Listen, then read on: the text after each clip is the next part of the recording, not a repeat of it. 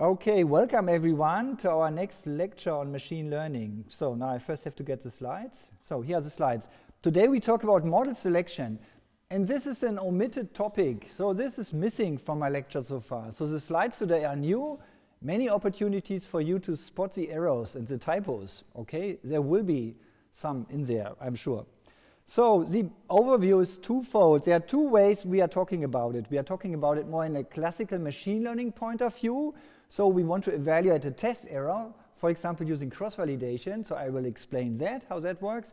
And then I will talk about Bayesian model selection, okay, which is a different way to do model selection. And I also show you my attempts to implement some of this for linear regression. Let's first start with evaluating on test error, evaluating the test errors cross-validation. So let's look at this example of linear regression. And here to really talk about cross-validation, I don't know whether you looked it already up because it's one of the words that you didn't know and you looked it up, yeah, and you want to know that it's always very hard to write it down. It's, it's kind of can get easily a mess. So let's try to have a good notation here. So um, there's a, suppose we have a data set, now I'm calling it D, okay, and the data set contains now these input-output pairs, and for simplicity, they should be all scalar valued, yeah. Of course, it all applies to vector valued and to more general case, but this is the simplest one, and it keeps the formulas easy. And then, as you already know, by, with cross-validation or with training and testing and evaluation sets, you want to split the data set. That's why I want to have this single letter D, for the data, and then I could say now I split it into two parts or something. That's more useful than to say now I have this capital X, which is like a matrix of rows, and then it gets a full, a complete mess kind of with the indexing or something. So this is just a new notation that is kind of tailored for the stuff I want to explain to you now. So the outputs are assumed to be noisy, so that's just a hint that there is basically they are generated from some true model. Okay, so there's a true weight, there's a polynomial, then I measure it, these polynomial at different locations, and then I add some noise. Okay. My model now should be some, I want to have uh, a linear regression model, but I also want to use this basis function here. So it should be a bit nonlinear. Why am I doing this? Because I want to select the parameter d. So this is my model parameter. Or you could also view it if I have a linear function and I try to fit it to my data, that's one model. If I have a quadratic function, that's yet another model. If I have a cubic function, that's the third model, and I want to select among those. So it's like selecting this parameter d, okay, which is also called a hyperparameter. Because what are the parameters? The parameter here is the w. So that is like the inner parameter of my function that I optimize. And then there's some outer parameter, which is like choosing one of the models. Okay? So this is like a hierarchy of parameters. So we model the function just as a linear function in W, where we use these nonlinear features here. And of course, depending on the D, I will have a linear function or a constant function even, or a quadratic function or something more complicated. And the question is, how can I automatically choose the right one? Okay, so that is our goal. So let's introduce some more stuff. So we talked already about mean squared error, which is basically this difference between the true value of your function that you observed and then the one that your model is suggesting, okay? And we square it up. And we calculate the average, which is basically 1 divided by the number of data points I have in my data set, okay? And here I'm not using xi, I'm using more this notation, so this pair is inside this data set, okay? And this is the mean squared error, as we already seen it before. Before we were already, already motivating it with some assumption on the noise distribution here, so that it comes from the Gaussian that we could assume here for the noise. But this is something we don't care here so much about. Let's just accept we take the mean squared error. That's our goal. We can also plug in here this phi function. Again, this is just a redundant way to write the same stuff. Okay, so I just want to make the following things clear. I put in here lots of parameters. So I put in the data, the weight, and the d as well as a variable. And then you could ask, so where is the d in this equation? And so it is, it is a parameter of my phi, okay? And um, I could have written f sub d, so to have it there as well, or I could also have written it f x comma w comma d. d is just yet another parameter, but it's on a different level, like, like there's a hierarchy of parameters. Okay, now my, uh, what I'm typically doing to find now my parameter w is I minimize the mean squared error, okay? And that corresponds to the maximum likelihood estimator, as we know. But at this point, we don't care. So we just say we have this WML, which has as the input the data and this parameter little d, and then basically we are minimizing this mean squared error function. So this is just a bit a more verbose way of writing stuff up that we've had already, okay? So now what is model selection is in this case, what is the best choice for D? Yeah, you could also say hyperparameter tuning. That's also model selection in a way. Of course, you could have a hyper-hyperparameter, right? So you could have linear regression models. So that's one choice with different parameters of D. So there's the hyper-hyper parameter to choose linear regression, the hyperparameter to choose the D. And another option for the hyper-hyper parameter would be to, be to use support vector regression or to use some other, whatever, boosted random forest tree, whatever you name it, regression. So there are many different methods. And of course, model selection can also choose among those. So in a way, there's the parameter, in this case it's the W, then there's the hyperparameter, and then there's the choice of my method, which is just another parameter, okay? So in principle, I can select all of those automatically, but let's focus on these W and D in this case. So here's our first attempt to hyperparameter tuning. So here's the first suggestion. Just choose a D such that the mean squared error is minimized, okay? So just minimize the mean squared error on your data set, okay? And that's the best D. Actually, um, there's a problem with that one. This will overfit the data. It will just choose a very large D, okay? And then you really nicely are going through the noisy data with a super complicated polynomial. And actually, at this point, I should show you code. However, I didn't prepare that one, but let's see whether we can implement it quickly. So there is this notebook on model selection now, which looks very much like the regression one. It is a regression one with some added stuff. So let's go through it. So getting basically doing the same stuff as last time, having a function for the polynomials here, having um, the true function, right, which is quite nicely implemented. You get the x and the w, and the d is implicit in the length of the w. So depending on the length of the w, then you will choose more or fewer features, fine. Um, then we have a way to sample, and this sample thing is basically our data source. So this allows us for some true W to generate n data points where we have some noise on our data. Now you wonder, okay, noise standard deviation, that's another hyperparameter. And yes, you're right, that is another hyperparameter. In this case, I'm assuming it's fixed and I know it. So I could put it into the list of hyperparameters and try to choose it as well automatically, but in this case I don't.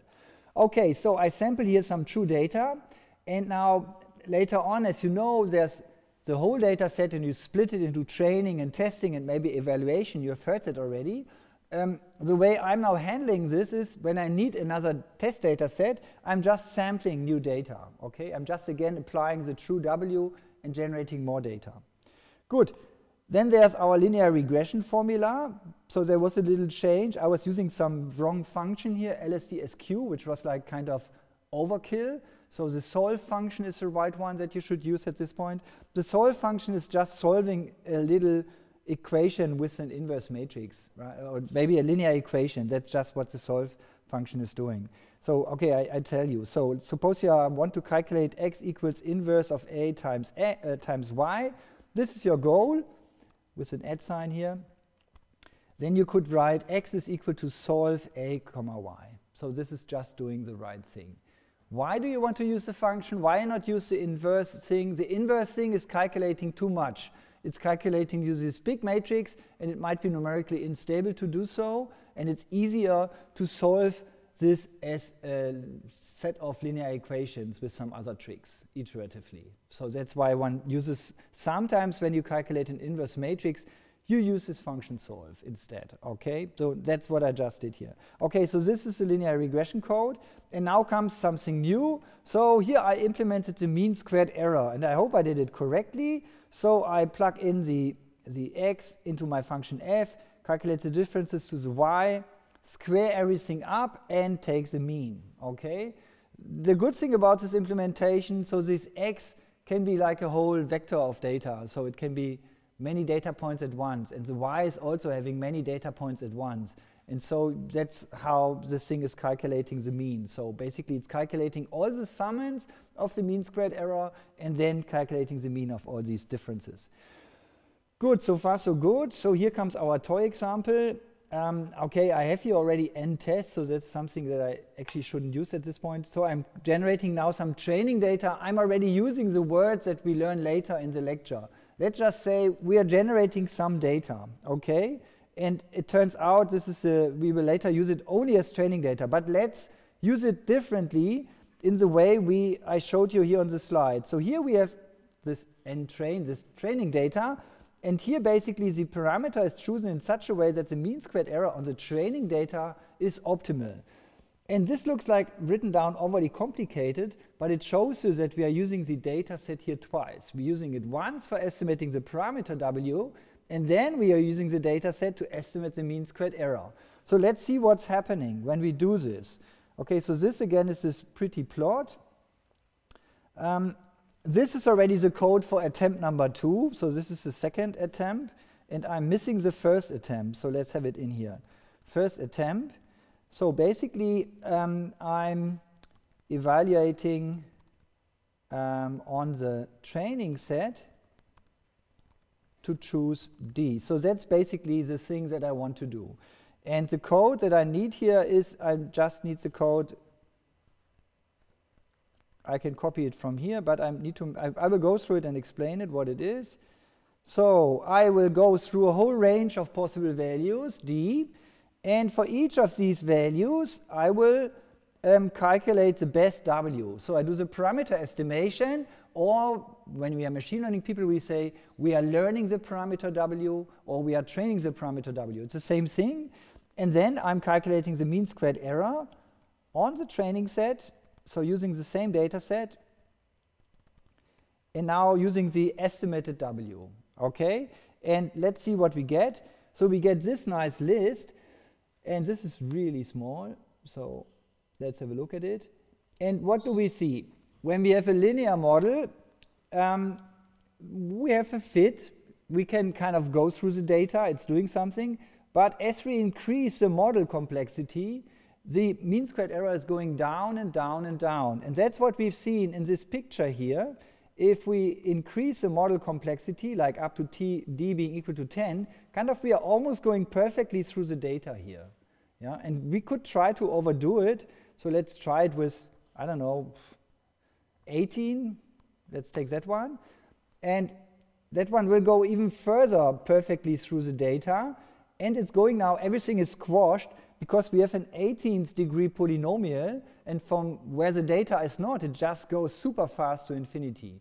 So in between here, the new line should go nicely through the data point, even better than the d equals to 10, yeah? but then left and right, it will just go wild. So that means if I would increase the range here, so let's increase the range up to 20, it should go even monotonically down, okay? And it's going down and down and down, okay? So the fit gets better and better and better. So first attempt failed because it would suggest, okay, d equals 19. That looks like a good choice, right? But we see that it's a very wiggly function that is not really capturing the structure in the data. Okay, so that was our first attempt to um, do model selection and it failed. So we overfitted the data. Okay. Um, so it would be nicer if we would have additional data that we haven't seen. So actually what we want to minimize is not the error on the training data, but we want to minimize the error on the unseen data, the new data that comes in tomorrow, okay? And this data is also called the test data. And where do we get this test data? So that is a problem um, luckily, in our script, we can just sample new data, okay, and then we have test data. However, um, a simple idea is to, to split the available data that you have into training and testing, or in this case, evaluation. Let's call it evaluation. So we just split our data sets that we have into seen data and into artificially unseen data, so that we put aside and we don't look at it for estimation of the W. Okay, so that is the second attempt. Now there's always a question, train, evaluation, test, and there's three. So why, where's the test one here? So the test one is reserved for the third attempt. Okay, so here we split um, the data into two parts. In one train, the training means I'm training on the D train to choose my parameter W, and then I'm evaluating on the D eval to choose my hyperparameter D. But in principle, there's no difference. I could have written train on the data for the parameters, okay, and then train on the data for the hyperparameters. And we could have a whole hierarchy and then train on the parameter for the hyper-hyperparameter and then train on the parameter for the hyper-hyperparameters. So we could split all these things. There could be a whole hierarchy of parameters that we could estimate. However, the simplest case is we just have parameters and hyperparameters. That's where you could already make a mistake. Okay, now, great. So how do I do this exactly? Now, how do I choose my hyperparameter d? So we choose a d in such a way that the mean squared error on our evaluation set is small for the w that has been chosen on the training set. So now comes the notation um, why it's useful. So we can now distinguish between estimating the parameter here, w, using the training data, and then we are using the evaluation data yeah, for estimating the mean squared error. And by this kind of, we are splitting it. We are artificially creating unseen data for this step to select the best D.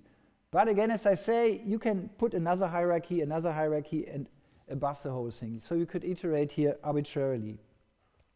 This is much better. It works quite well, okay? Here we don't have any overfitting while learning the parameter, which is good, okay? So let's look at the code. Oh, today it works really nice with the code. So here's the second attempt. So I'm again now sampling new data. I didn't took the initial data set and split it into two parts. I just sample new data, right? I know how to generate data in this case. And then we estimate our W using linear regression using the training data. That's why it's X train and Y train for different values of D. And then we evaluate basically the outcome using our evaluation data, okay? If there is no test data, this could be also called the test data to estimate the test error. But there's another level that we want to do afterwards. Okay, so let's do this. And if I do the calculation here and we look at the numbers and you have good eyes, then you see that it's going down and then it's going up again. Okay, so basically these super duper polynomials of degree 10 or something, they were nice at the training data, but then came again some new data in, which is also following some simple curve, okay, and it just scattered randomly around, and it has nothing to do with the other points before so much, okay? So that's why kind of now this is a way to find the right parameter. So we have our first model selection procedure, okay? So this is a way to select, select such a hyperparameter like the D, okay?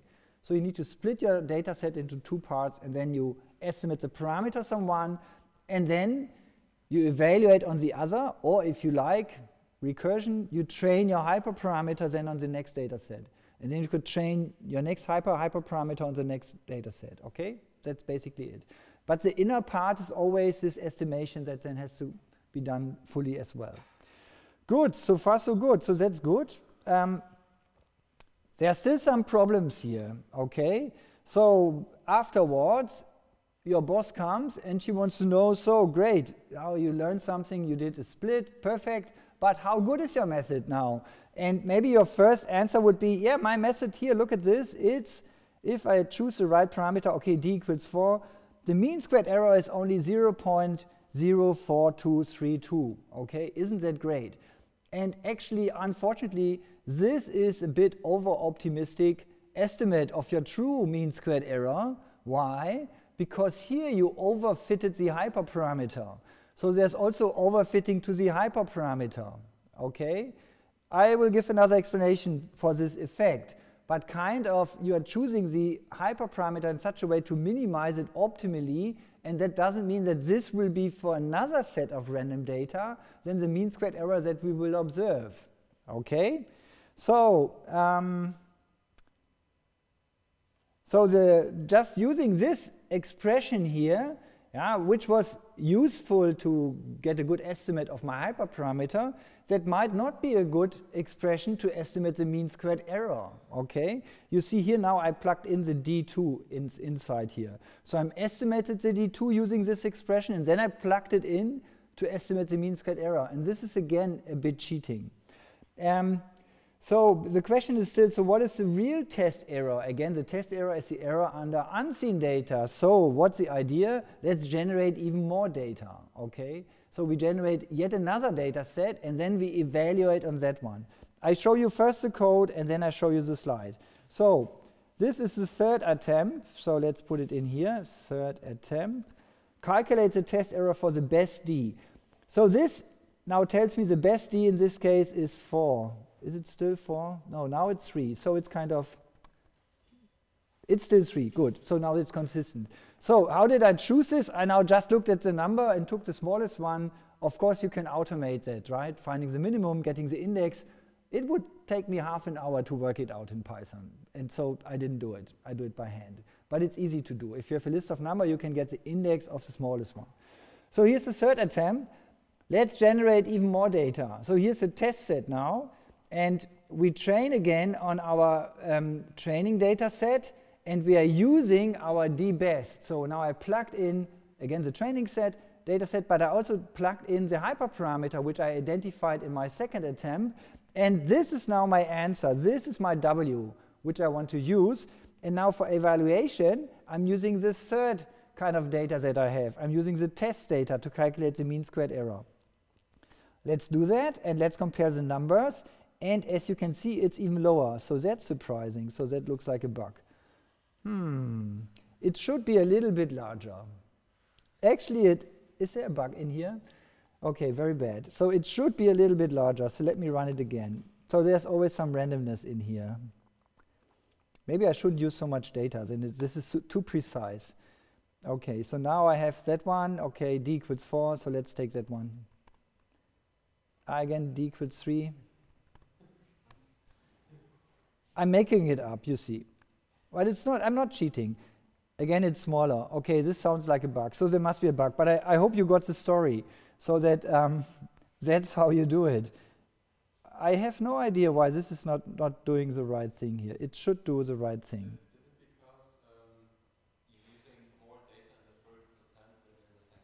Maybe, but I'm, I mean, I'm doing the mean squared error, so it shouldn't matter. But let's do this. Let's let's keep it all at 100, so maybe that's better. So also my training data, oh, my training data was small anyway, so that's okay. Okay, so um, that was, so let's do this one. Okay, great, it's d equals 3. Okay, now it worked. Great, perfect. Yeah, maybe, maybe you were right. Maybe it was about the number of training points. So this shouldn't be a surprise if it's larger, and it should be a surprise if it's smaller, but it's just it's small examples. And that's why there things could go up and down kind of randomly. However, the, the true mean squared error is a little bit larger. And to understand that, I can also give you an example which might not seem related on first sight, but it's quite similar. So it is about estimating the variance of a Gaussian distribution, okay? And maybe the quick people among you, variance is something like the expectation of the square distance to the mean, which is like a least square problem, right? It's the same thing. So the variance is minimizing a least square problem.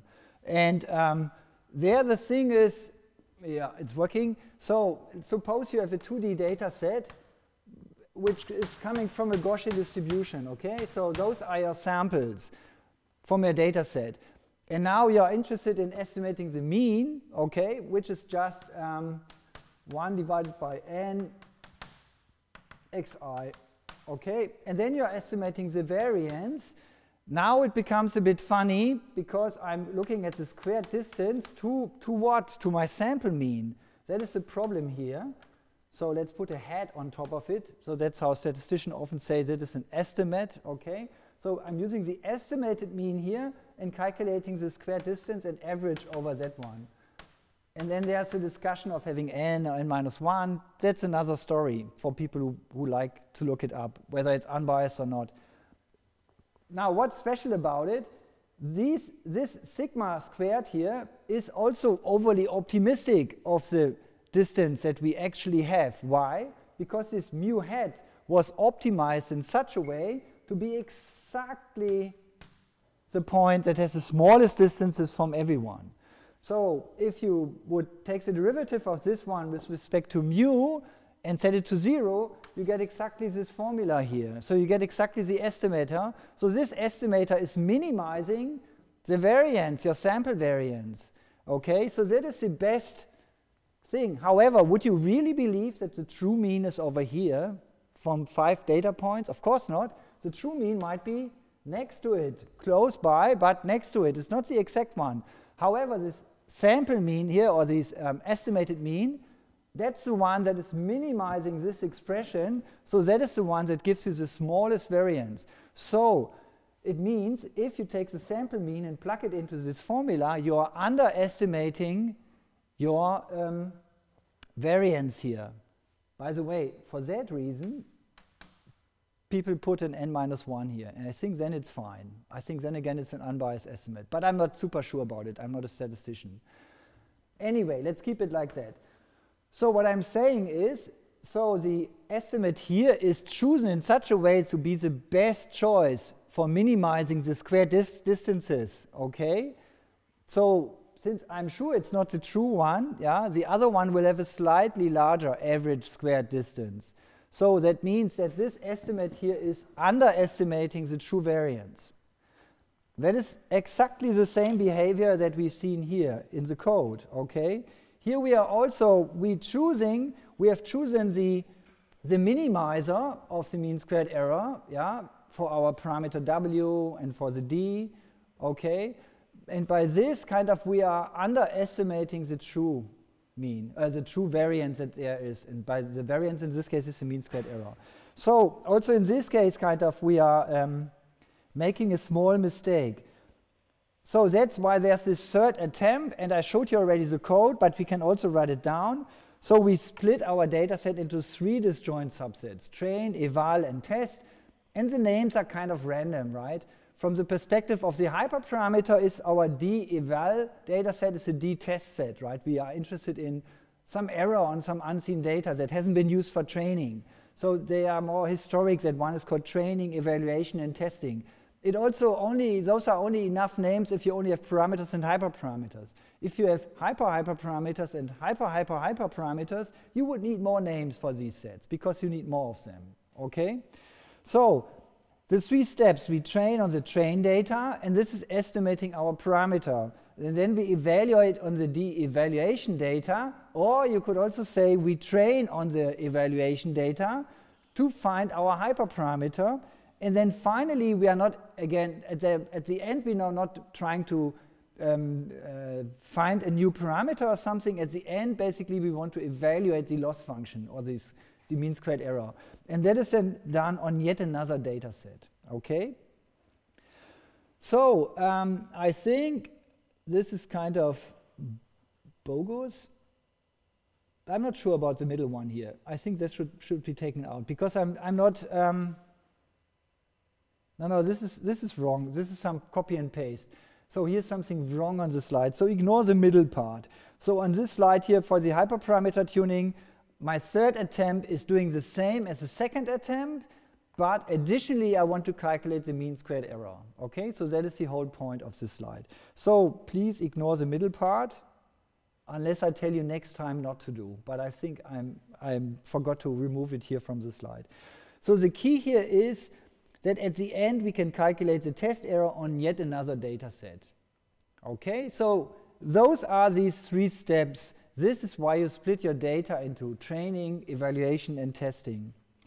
This is also considered kind of the gold standard, right? So this is the best you can do because um, if you have enough data, yeah, like sometimes in neural networks or sometimes then data is abundant, so you have arbitrary lots of data, then it's easy to calculate some meaningful test statistics at the end, okay? And by always separating the different data sets for the parameters, for the hyperparameters, and for the estimation of the error at the end, we have no overfitting of the parameter and we have no overfitting of the hyperparameter, okay? So far, so good. So this is great. Um, there are some more thoughts about it. You might wonder now, where does cross-validation come into play, right? So we haven't talked about cross-validation. This was just about splitting data set and estimating parameters on different levels. So there are some problems left. Somehow it looks wasteful, right? So you have your data set D, and it might have been super expensive to collect. And now it's kind of weird to waste data to estimate the mean squared error at the end, right? So I actually, wouldn't it be better to estimate my W on all the data, right? Instead of only estimating it on half of the data and reserving the rest. By the way, how do you split your data set anyway? Should it be one third, one third, one third, or should it be 75%, 12.5%, 12.5%? Um, I'm not sure whether anyone can answer that, so that's more like fiddling around and trying, so there's no easy answer to that one. But it's kind of frustrating that we are not using all our data for estimating the parameters, and we are also not using all our data for estimating the hyperparameters.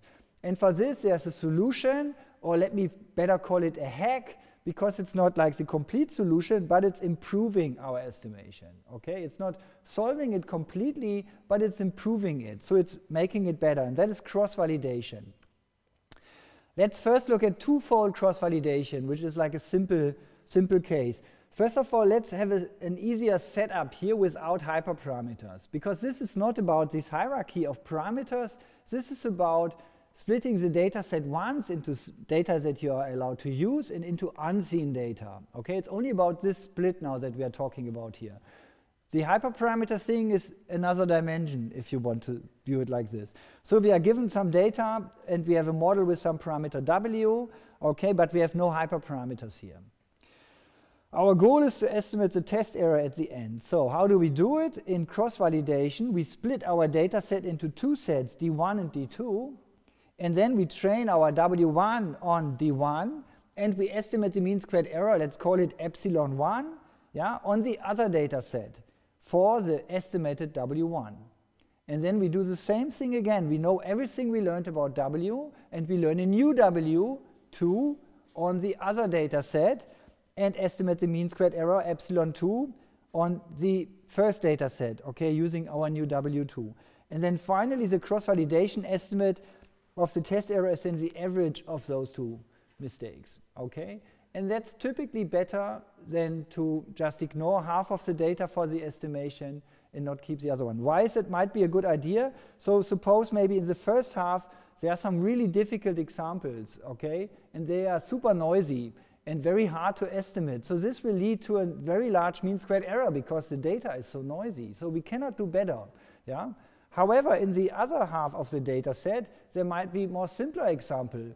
And so depending on, on which side I'm training, I'm over or underestimating the true mean squared error that I can achieve. Okay? And by averaging it, basically, um, yeah, kind of we are distributing our luck, kind of. Okay? By the way, for that reason, you should also always, when I say split the data into several sets, you should always do it randomly. Yeah, never ever do it that you take the first 100 indices in one and then the other 100 in the other one.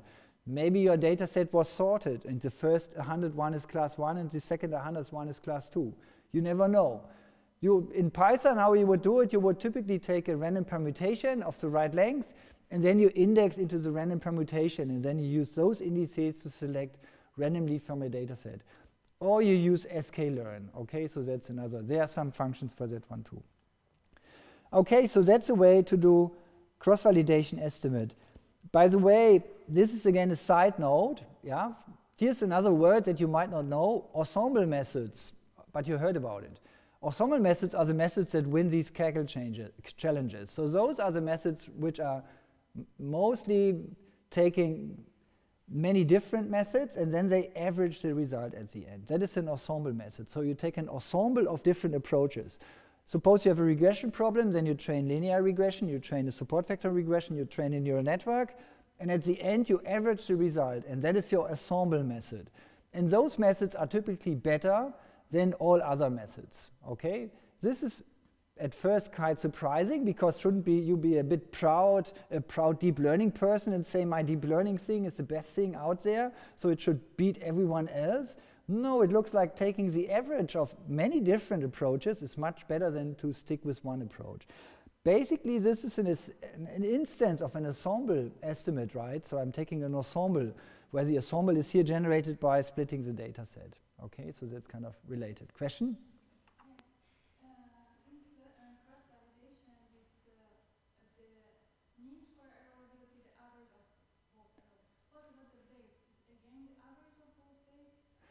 Yeah, good question. Very valid question. What is the final answer, right? So what model should I use? Um, good question. I'm, I'm always confused with it. I don't know. I, I probably would maybe use the W1. Maybe I would average the W1 and W2, but this could be total bogus for neural networks, right? So it could be completely wrong. I think uh, you can use one of them. The problem is if you now say, okay, now great, I did cross-validation, so now at the very end I take all the data and estimate a nice W, then again you did overfitting possibly, right? So that's exactly what you wanted to avoid. So that's like a dilemma. I think you can take one of them. Probably the most fair would be to pick a random one. I'm not sure. But it's a valid question that comes up when you do it in practice. Yeah. Um, of course, only having two data sets is a bit wasteful. Maybe it's better to split it into more parts. And this is called k-fold cross-validation. Okay, so if I take k folds, so I have now k subsets, and um, now the algorithm is like this. So basically at the end I'm taking an average over k estimates. How do I get one estimate? I'm basically picking one of them and that one plays the role of the test set, excuse me, or the evaluation set, whatever you like to name it. And then you train your parameter on all the others.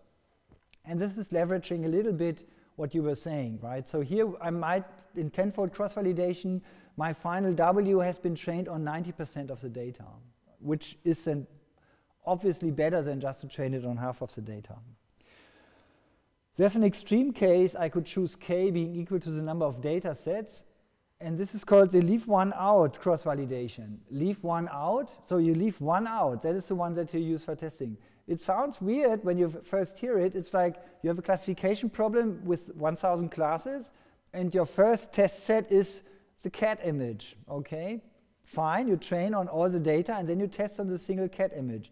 Then you do it again. You again take another image out. It might be another cat image, and so on and so forth. However, at the end, you will have an average over all these results, and then it's a good estimate. So the leave one out thing is another way to do it. However, I, I don't know it well enough, but uh, maybe you can look it up. Yet another thing to look up. Um, that whether the leave one out thing is always better than the other one, it's just too expensive, right? I mean, how expensive is it?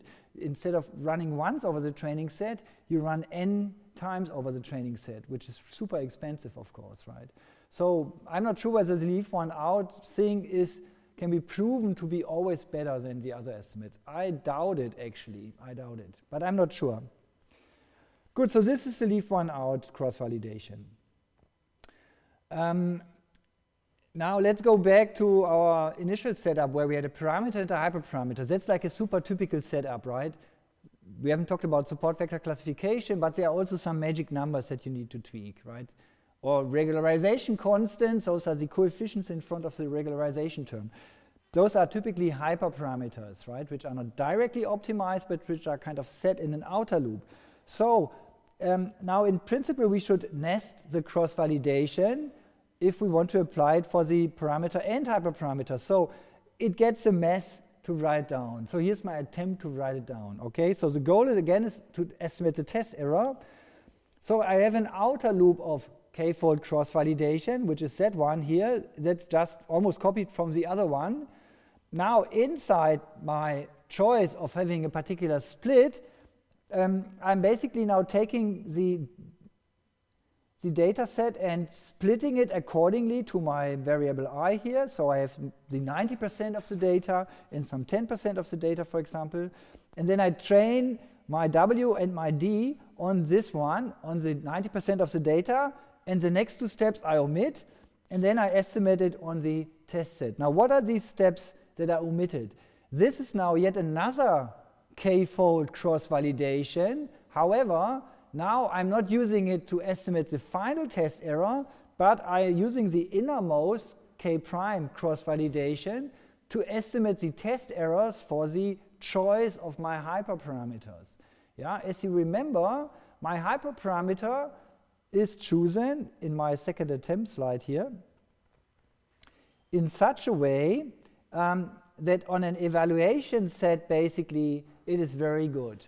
And of course, also this mean squared error here, I could estimate with a k-fold cross-validation attempt, right? So um, I could dynamically split this evaluation set and always pick another one and not just do it once, but iterate over all possible choices here and have a better estimate of my mean squared error to have then also a better choice of my hyperparameter. Okay, so this basically this, um, where do we have it?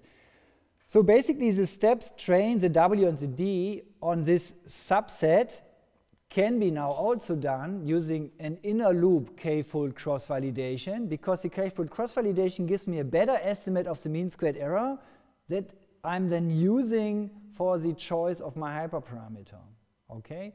However, if you try to write it down, it's getting really ugly. So the notation with the d's, you need double indices and you need set minus and some other weird things. So I wasn't able to do it. So that's why I wrote it like this. So you use the inner k-fold cross-validation to estimate the mean squared error for the hyperparameter choice. That is the point of the k-fold cross-validation. Of course, now, if you're a good programmer in Python, you can write a function, k-fold cross-validation, which gets a data set, and which gets some other information, maybe some function function it could be, and then it does it. And then you just call inside this cross-validation function the other cross-validation function itself. So implementation-wise, you can do it. Of course, if you have like nested loops, you see that the whole thing explodes. So you could ask, so how often for this procedure, for the nested cross-validation, how often do I have to train a W? And actually there it turns out you have to do it k times k prime times. So the outer loop cross-validation says you have to do the inner thing k times, and the inner thing, the k prime fold cross-validation means to estimate the mean squared error using cross-validation for the model selection, inner model selection, you need to calculate a W for every, um, for every choice of subset in the inner loop. So it gets really expensive, okay? So before maybe you do, you say now, ah, okay, I have a cluster of 10 GPUs, I now do 10-fold cross-validation, I can run it in parallel, that's great. But then when you do it gold standard style nested cross-validation for your hyperparameter choice, then suddenly you have 10 times 10, the running time, okay? And kind of what you gained by your GPU cluster is gone already. Good, so this is the ideal thing, yeah, which should be the best estimate. And this should try this should help you avoid overfitting and do these things. In practice, I think often it's first of all very important to be aware of these things, that there are some issues there with the estimation, and that you might be overly optimistic with your estimation of the mean squared error. And then to see in your setup what actions to take, right? Whether you can afford to do a nested cross-validation or not. Good, so far so good. So this is like the I would call it classical machine learning way of um, doing things to estimate basically the test error and to set parameters and hyperparameters like in a, in a meaningful fashion. Okay? Let's see, where are we? Um, let's move on to Bayesian model selection, okay? And this is now a different approach, but since we are also partly Bayesian or Bayesian by heart, I don't know, let's look at the Bayesian model selection. Of course, this will be the definite answer. This is the most pretty thing to do, however, completely infeasible. And we will see in our code that you get logarithm and inverse matrices, and it's not nice, and it's very weird to do gradient descent there with a fixed learning rate, and so it's very strange. Let's look at it. First of all, let's talk about Bayesian inference. And also here now will come the stuff with parameter and hyperparameter and all these things, but now written down in a Bayesian fashion. So Bayesian inference, so for example in linear regression, we have a prior for our parameter w. Then we have a likelihood which tells us how the data was generated given our parameter. And here is no hyperparameter, okay? So this is really saying I'm fitting a quadratic function. d is constant equal to, or d is equal to 1, I'm fitting a linear function. Then the inference given data is just applying Bayes' rule, And there are some things that I can calculate. I can calculate this bottom part here, that is the so-called evidence, for example. Um, the posterior now tells us how the prior and the likelihood are combined, and they are combined via product rule or Bayes rule. They're just multiplied with each other, right? So the prior is something good to say about W, where something good means there are some numbers large and some numbers small. And then the likelihood given the data is something to say about the W. So it says, oh, okay, if that is my data, then those W's are ruled out, they get small numbers. And this gets pointwise multiplied right here, okay? So it, it describes what parameters are still likely after seeing the data. And then there's the evidence, and the evidence kind of is integrating out the parameter. So the evidence, of course, depends on the model choice. So we are saying it should be a linear function, okay? But we are not estimating a parameter here, we are integrating out all possibilities. And then basically it says, how likely is it to see the data given that I have a certain model, but without estimating the W? I don't care for the W, I just want, I'm just wondering whether it is kind of a linear model or not. This gives us already a hint how we could do Bayesian model selection, right? We write down the whole thing for d equals 1 for a linear equation, and then we write down the whole thing for d equals 2. And both give us an expression for the evidence at the end. And then we could say, ah, we just, we just pick the D such that the evidence is maximized. Okay? And that is Bayesian model selection. That's it. Why is it super cool? Because we are using all the data for the estimation and we are using all the data for the model selection. So we are not splitting anything here. We're just having some clever math going on. And as long as you can do the integrations here, yeah, you can do it, right? and as long if, as you trust your priors. And if the priors are garbage, garbage in, garbage out, right? Then if your prior says there are some zeros, then there will be zero forever because you're multiplying here.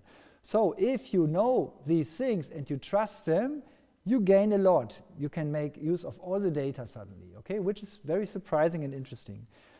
Okay, let's introduce hyperparameters now. So this is now my hyperparameter, and the theta collects numbers like the d, the letter d, right? The, um, uh, the degree of my polynomials, that could be in the theta. But of course, I can plug everything in the theta. I can also plug in the noise variance, like the sigma square or the tau square of a linear regression model. So it can be anything.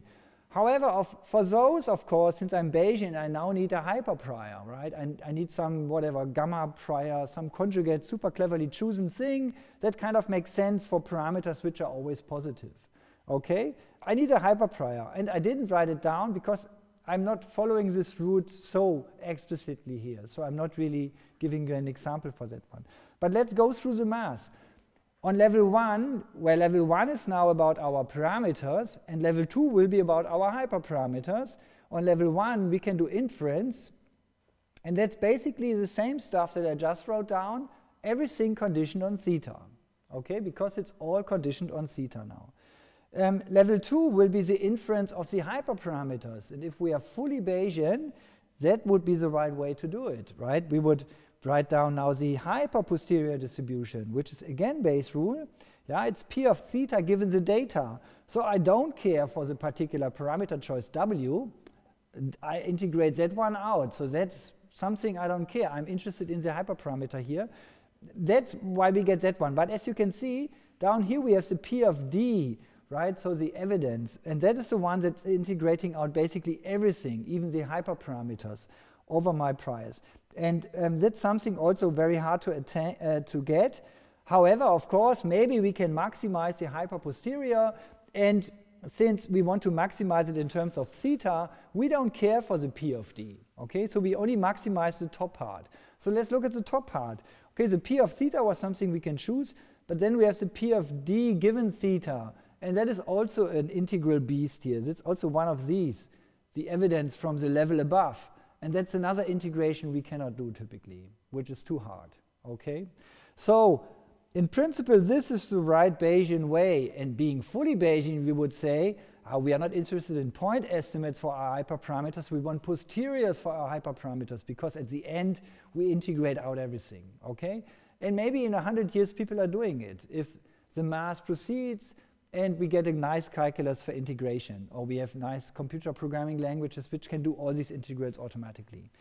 There are people implementing something like that. There are numerical methods for these integrations. So there are ways to do all these integrals. And one area is called probabilistic programming, and a related area is Markov chain Monte Carlo. So that is like a way to do all these integrals. The reason why MCMC is such a big field is because this is the answer to all questions, these formulas here. However, we cannot compute them. So if we can approximate them, that should be useful, okay? So the MCMC people are typically trying to evaluate these integrals here. Good, let's introduce um, another hyper-hyper parameter, okay? The hyper-hyper parameter is often called a model, yeah? So we could have a model prior. Why the distinction? Yeah, sometimes like the model prior is a discrete variable maybe, right? It might be a linear regression or support vector regression or something else regression. And so you would condition on that one now everywhere here. And you might have also a prior on that one. Typically your prior might be, yeah, I'm a neural networks person, it always works. However, maybe the support vector guys sometimes win. So I include them here, but my prior for them is low. So I could quantify that if I have experiences with these methods, okay? Good, I mean, then there's level one, two, three, inference of parameters, hyperparameters, and models given data.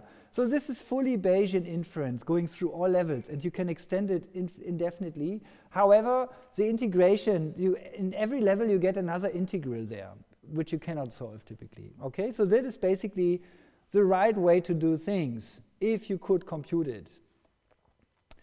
Good, so far so good. Um, let me see. So if we do inference, okay, I wrote it out. I'm not going through all the detail. You can look at for your pleasure at these formulas. I hope there's no mistake. But basically, those are now the inference of the different parameters. So I wrote down the posterior for the parameter, the hyper posterior, and the model posterior. And it's all following a pattern, of course, right?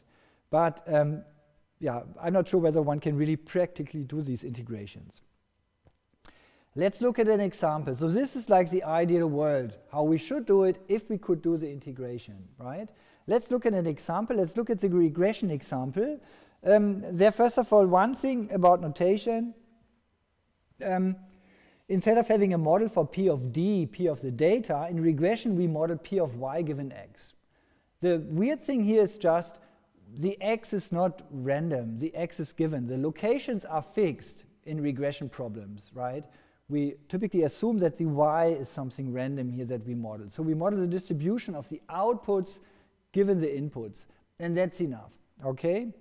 So if we write it out, then we would have a model specification like that. So we have the model prior, hyper prior, some prior on the parameters. By the way, this W could be another mean of a Gaussian distribution, or it could be the variance of a Gaussian distribution for the W, or something else, okay? And then finally, we have the likelihood. And now this is the part that's different from the previous slide. On the previous slide, it was all P of D given W and H. And now we have P of Y given X. So there's now an additional X on the other side. So when we write out the, the level 1 to 3 inference of parameters, then we have all these expressions. And again, I just wrote them out for fun to have them here, right?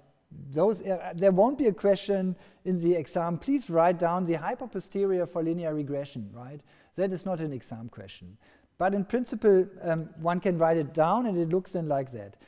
So let's start with level one. So we learned already that in level one, there is, uh, if we assume a prior distribution for the W, let's say we make it concrete and we say it's a Gaussian distribution with mean zero, yeah, so it's this zero sub D, it's these zeros of D, expression in, in Python, and an um, identity matrix of size d, where we have tau squared on the diagonal, so the variance of each variable here is tau squared. Um, then we have the likelihood, so the observation given the data is basically a Gaussian distribution around this true x times w, okay, with some covariance a uh, matrix again, which is again a diagonal matrix. Then we can infer the following posterior. So basically, it's also Gaussian distribution with some particular mean and a particular covariance. And those are just the formulas from the previous lectures. And they didn't get nicer, but they also didn't change. They didn't get worse. So they are still the same thing. I instantiated them here for this particular choice. I think on the slides I wrote down the general version with the W0 and with some V0 over here, so with some more complex things. So this is like a little simplification of it. Um, on this slide, sigma squared and tau squared are assumed to be known. Actually, those are hyperparameters, right? Those are parameters that are on another level above the whole thing. So if they are assumed to be known, we can do all this, and everything is Gaussian. Um, however, now let's add our uh, let's add more random variables for these hyperparameters, okay? Since we want to do model selection, Bayesian model selection, here now it means I want to estimate sigma squared and tau squared. I could also include the d, but I didn't because the d is a discrete variable in this case. So let's write it down. We need a hyperprior for our theta, and then now we condition now our w on the theta. So now the entries of the theta are basically in this case, okay, I included it sigma squared, tau squared, and d, and that's a vector that collects all hyperparameters. And um, in principle now we can infer the posterior, where the posterior is also now conditioned on this choice. So nothing changes. It's also the same distribution as before. Um, now for level 2, what can we do? Um, for this, we typically need the evidence from level 1, right? So let's flip back a little bit. So for the level 2, we need this expression down here, which is the evidence yeah, from level 1, which was, where was the other slide? Uh, over here. Is it here? No. There. So this is basically the evidence from level 1, the P of D. No, that's not right. So that was the simpler one. So where's the, yeah, here is the evidence. So this is the evidence. That is the evidence of level 1. That is where I'm integrating out the parameter. And that thing is used now for the level 2 hyper, um, hyper posterior, okay? And I need to plug it in here. Okay, so let's see what's happening in the linear regression case. So we need this expression where now I'm writing not p of d given theta, but I'm having this p of y given x, since I'm talking about regression. And this thing here is also, um, the, the first entry is a Gaussian distribution, the second entry is a Gaussian distribution. As it turns out, the whole thing can be derived as a Gaussian distribution, okay? So not only the posterior on the first level is a Gaussian distribution, but also the evidence can be written as a Gaussian distribution, which is good. And this thing gets a name. This thing is called marginal likelihood. Here again, it's a random combination of words. Marginal typically means like Randverteilung in German or integrating out some variables from a joint distribution. And which variable did we integrate out? We integrated out the parameter. So the marginal is referring to integrating out the parameter w, okay? And then likelihood, yeah, it's telling us how likely is the data that we see it. So it looks a bit like this thing up here, where we integrated out basically the W, okay? Good. Now, in order to infer the hyperposterior now, um, unfortunately, the whole thing gets quickly too complicated. So this thing might be a Gaussian distribution still. The P of theta is no longer anything nice and the thing down here is something that you typically cannot compute anymore. So this is where in practice things stop. Okay? However, we can use some of it. And what people are typically doing is instead of being fully Bayesian through all hierarchies, they say we are a little bit Bayesian and we stop right here. We stop at the marginal likelihood. And instead of um, um, trying to maximize the hyperposterior, what we are doing now, we are maximizing the marginal likelihood. And so this is like saying on level one, I'm Bayesian, I'm doing everything with Bayes rule, and on level two, I'm now doing maximum likelihood, okay? Because the marginal likelihood is really the same as the likelihood in the upper levels, but the one where I'm integrated out the W. So for that reason, this is also often called type 2 maximum likelihood. Type 2 because I'm partly Bayesian and then I'm doing maximum likelihood. It's also called empirical Bayes. It's also called generalized maximum likelihood or sometimes also evidence approximation. I got all this from the nice book from Chris Bishop and there's section 3 and there you can read basically many more details with a slightly different notation. Okay? Good, so let's derive our um, marginal likelihood. And let's first look at, so where are we starting? We're starting at the logarithm of this guy. And where do we end? We end at the logarithm of a Gaussian distribution. And then something in between happens. Okay? So this is a derivation that shows that, that, that this um, marginal likelihood is a Gaussian distribution. Okay? That's what this derivation will show you. And then once you understand that this is a Gaussian distribution, you can just plug in the expression, which is like 1 divided by 2 pi something, determinant, and so on, e to the something. However, then we apply the logarithm, and then the product of our density kind of turns into these nice summands here, okay?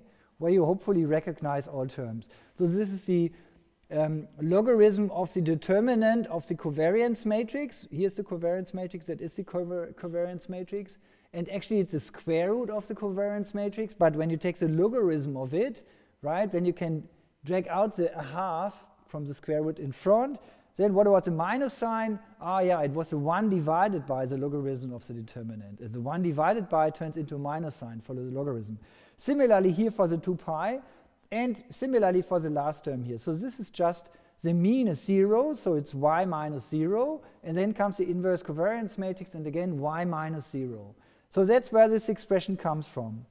Um, now, what about the steps in between? Let's look at them. So I'm just plugging in the definition of my marginal likelihood.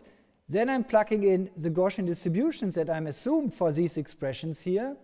And then I'm using some magic trick, okay? So there is a transformation formula that transforms this product into that one. And it's a variation of the product rule. For your pleasure, I copied it here. So this is the formula that you need to use. So basically, suppose you have an expression for the Gaussian distribution of x and for the conditional distribution of y given x, where the x appears here on the right-hand side, so it's really conditioned on x, then you could also rewrite it the other way around and have a Gaussian distribution without an x in here. However, then you will have an x given y, and the y appears in the distribution for the x. So this is just a variation of the product rule as we've seen it in the other lecture. This is copied from page 93 from the Bishop book, these formulas here. When you do this, you not even have to do the full thing here, you just need to do it for the first one you get an expression for the y that does not depend on the w, and you get an expression for the w that does not depend on the y at the end. Okay? Why is it good? Because then I can just drag out this thing out of the integration, since it's constant with respect to w, and I have the integration over some PDF, which is equal to 1. Okay? And it's gone. Okay? So that's how to derive a result like that. You start with two Gaussians, you want to integrate something out, you need to find the right trick, and then you integrate one of the Gaussians and it's fine. Then the integration is gone and everything is good. Good, so far so good. Um, so, oh yeah, this was the formula. So now, setting the hyperparameters for linear regression in a Bayesian model selection way, how do you do it? You take the logarithm of the marginal likelihood, which is this expression now, and you view it as a function of the hyperparameter theta, and now you're just doing maximum marginal likelihood. You maximize this marginal likelihood with respect to the hyperparameters. And you can just do this, for example, using gradient descent. Okay? And now I'm saying it, yeah, you just do it. And I tried it, and it's horrible. Why is it horrible? Because this is logarithm of a determinant, and there are some inverse matrices, and it's very unstable, and it looks very bad. But I show you some plots. In principle, looking at the plots, you will say, yes, there is a local optima that could be found if one does the right optimization. Okay, um, so where does the sigma squared and the tau squared appear? So it, they appear under the log determinant here, and they appear back here in this inverse matrix. And those are the two parameters I want to optimize. Can we use matrix differential calculus? Of course. So since we learned it last time, I thought, now let's try it. And it took only a couple of hours for the derivation. No, actually, it was quite fast. So this is now saying, okay, let's calculate the, the derivative of it. We want to use gradient descent. So let's calculate the derivative of this guy with respect to sigma squared and tau squared. And the good thing is, let's give the matrix A, uh, this uh, covariance matrix, a particular name and write everything down and then you just follow the rules. And suddenly you will have this d log det A. And there was this particular formula for that one, which is just the trace of the inverse matrix times dA. And here's another one, the dA inverse. That was this weird formula, the A inverse times dA times A inverse. And you plug everything in, and you can really derive it. Now we derived it with respect to the A. Then you plug in for the A the expression, and you can kind of read off with a little bit of playing around the derivative with respect to sigma squared and tau squared. And this is a derivative you cannot do with the typical partial way of indexing. I think this can be only done with matrix differential calculus. Okay, we can use it for gradient descent, and I show you my attempts to do that. Um, so let's have a look at the code. Where is it? There. Okay, here comes the Bayesian linear regression code again. So it's basically the same stuff as last time. Maybe I should execute it once more. Um, so there's a prior for W, and then there's a posterior for W, and I think we don't need it anymore, because if you look at it, if you look at the slide, um, here is no W in here, right? We are not really estimating the W. Kind of, we are taking, we are already abstracted away the W. It's integrated out. We don't care for estimating a particular W here. We just found some fancy formula that will do the right thing, ideally, hopefully. So let's see whether it really does the right thing. So first of all, we need to implement the um, log marginal likelihood. So this is the implementation. I also give the A name here, so that's very good to do this. Then I like to write things first down, how it almost looks like the formulas, and then I replace the inverse A times something by a solve A comma Y. That's numerically better to do it like that. And finally, I give it a short name since I'm always talking about the same training and test set. So I should do it like that. I can then use the, fu the function LML in some optimizer or something.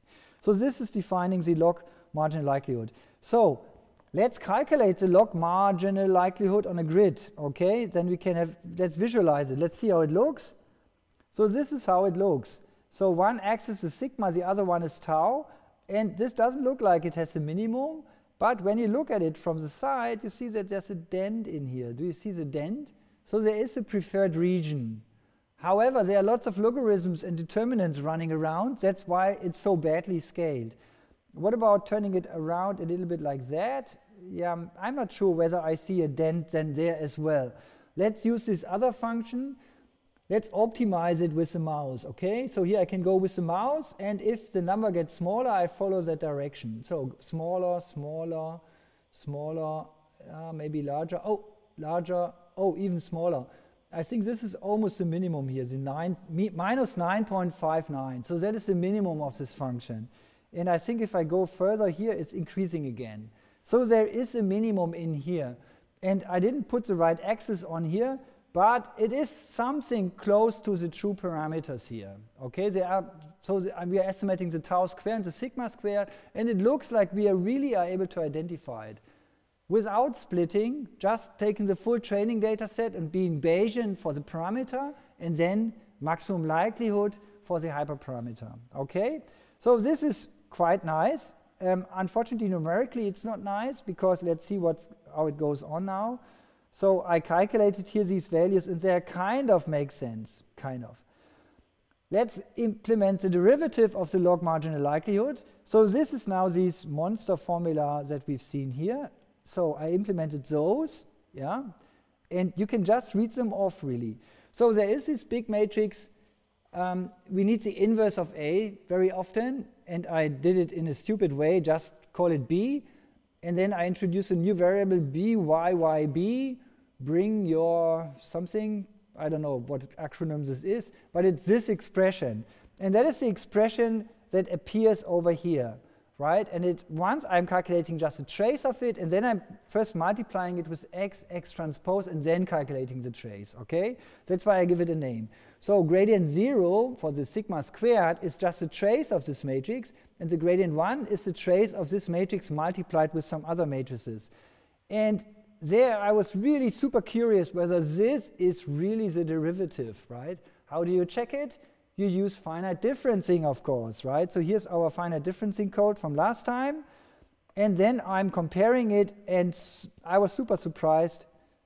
It turns out it really works, right? I mean, the formulas here, they look really bad, and they look really, yeah, a priori I would think they are too complicated to be the right solution. But as it turns out, the finite differencing says this is the solution. So, okay, then I thought, great, um, then let's do, let's do gradient descent on these um, gradients now when I have them. So I did a simple implementation of it where you give a learning rate and you give an f function and a gradient for the f, and you just do these updates, x equals x minus learning rate times gradient of f, okay? And then in between you print out the optimization. And uh, this is just a little demo for some squared function to check that everything works, okay? And it works. So this thing is really minimizing a function.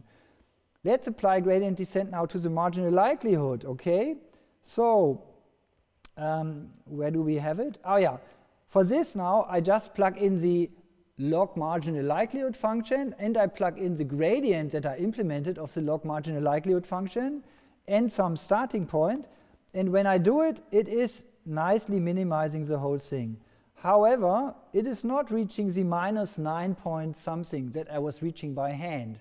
I think the reason is in that area it's kind of super flat and if I have the wrong learning rate, it's kind of jumping around and jumping out of this spot. So somehow it's a nonlinear optimization problem here that I couldn't solve. But I'm sure someone can solve it, maybe with the quasi-Newton method or with some other tricks or something. And then in principle, you could estimate that, okay? Good, so it can be implemented somehow. Matrix differential calculus is super cool because you can do these things here. Um, again, let's flip back to the overview. So that was the overview. And um, it, the lecture was on model selection, and we first looked at the classical machine learning model selection type of thing, which is splitting your data into data you use and data that is artificially unseen, where you, where you don't look at. And this idea of splitting the data set can be done on several levels. You can use it to estimate the mean squared error, to do good model selection for your hyperparameters D, but then later on you can also use this splitting on a higher level to do an estimation of your real mean squared error of your method that at the end comes out of your, um, out of your work. Okay? Then there's the other world, the Bayesian model selection world, and that is completely independent of this idea of splitting a data set in seen and unseen data. However, surprisingly, it allows also to find good hyperparameters, but with a completely different approach. Numerically challenging, at least for me, right? I couldn't get it to run, but in principle, looking at the graph, it looks like it works. Okay? And the big advantage of the Bayesian model selection is you use all the data for the estimation. The big disadvantage is it's numerically unstable in my hands. And also, um, you need additional assumption. You need this additional prior and this kind of stuff. And um, you need to solve integrals that we cannot solve yet. Okay, so that is a quick summary. Question?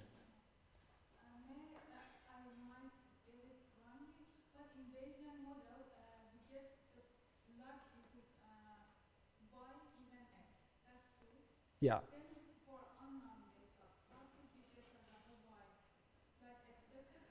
Ah, again, very, that's basically you translated. Okay, the question is, how do we get now for unknown data? How can we use it for prediction, right?